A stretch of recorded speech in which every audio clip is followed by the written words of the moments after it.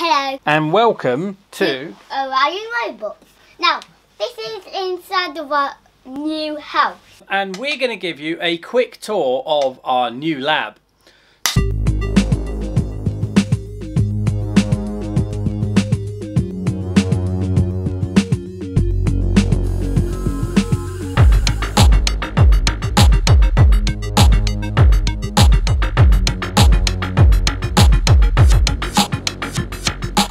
Let's have a quick look at what we've got. We have, well this will be the new copy desk and it's currently got the clapper board on it. I've got my extra monitor which I can sometimes use for projects and I sometimes use view what I'm recording if I'm using the Open Broadcast Studio. Got somewhere for the laptop.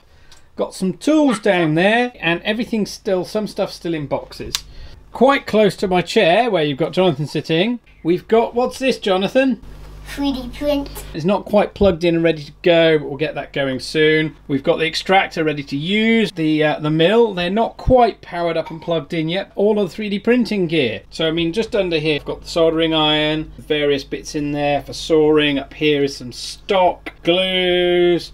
Graph paper always handy, lab systems counter, and some of the pictures, and my tools right above the printers and stuff. Everything's a bit closer because the 3D printers was the other side of the room before. Behind Jonathan, we then have the robot cupboard. So the robot cupboard has come with us, including all of its stuff, and it's pretty much as you remembered it from other videos. Daddy? At the moment, not quite well organised. This looks similar to the 3D printer.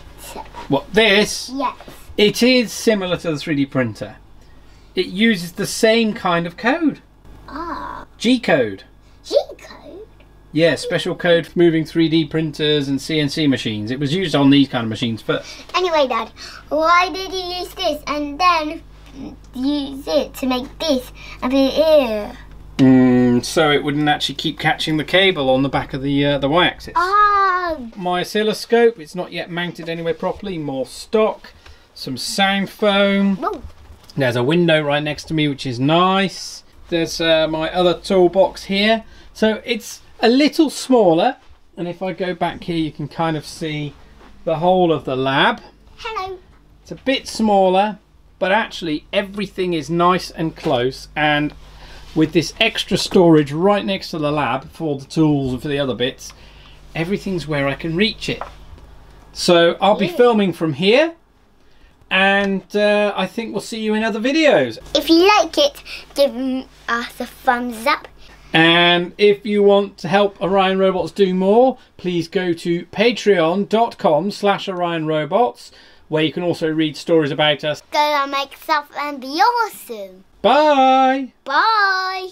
See you, see you later.